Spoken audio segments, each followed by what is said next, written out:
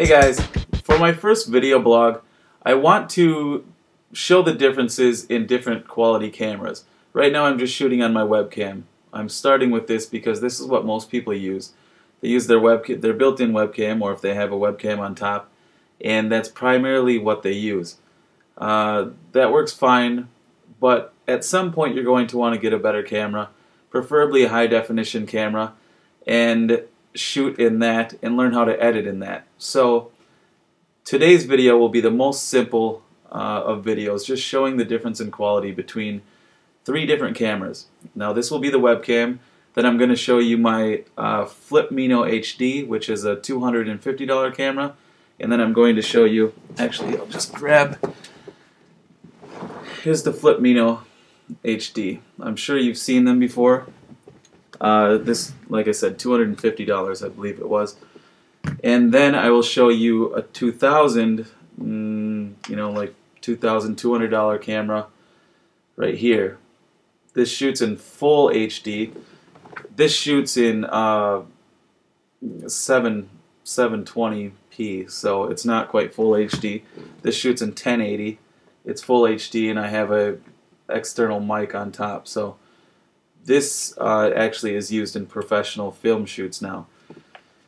Uh, so we'll just go through the differences. Uh, right next we'll use the Flip Mino HD and you'll just see how it looks. Okay, now here is the Flip Mino HD. So you can see it should be a little better quality because it's shooting at a higher quality. Um, also the sound quality, I guess the computer was closer to me so the sound quality might not be any better. And it essentially wouldn't be any better anyways. I don't have an external mic on there. So this is pretty much what you'll get. It's actually fine and I use it for quite a lot of things. And in the past year I used it for everything. So it works really well. So for $250 that's very good. Although nowadays I would more so go with the Canon or uh, the Kodak Zi8 I believe it is. So you might want to look into that. Um, now we'll try out this camera, which you'll see will be significantly better than both. Okay, now we're shooting with the Canon EOS 7D. And like I said, now a lot of independent filmmakers are using this camera. It's actually a still camera. Uh, it's an 18 megapixel still camera, but the still the still cameras have gotten so good that uh, it, I mean, all a video is is right now we're shooting pictures at 24 frames per second. So 24 pictures per second makes up a video.